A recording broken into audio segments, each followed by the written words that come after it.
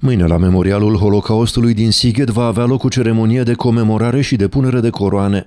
Vorbim despre un eveniment extrem de important pentru comunitatea evrească din România. Este vorba despre comemorarea Holocaustului și trecerea celor 75 de ani de la, de la momentul la care Holocaustul a fost uh, declanșat.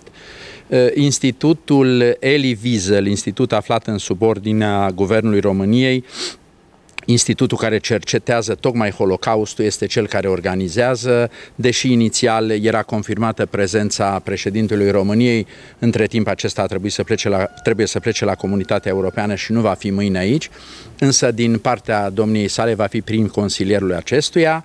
Uh, îl așteptăm pe domnul ambasador uh, Claim, ambasadorul Statelor Unite, așteptăm uh, angajații în mare măsură, toți angajații de la Institutul Elie Wiesel din București, precum și personalități ale vieții culturale, politice din România și din Sighetul Marmației.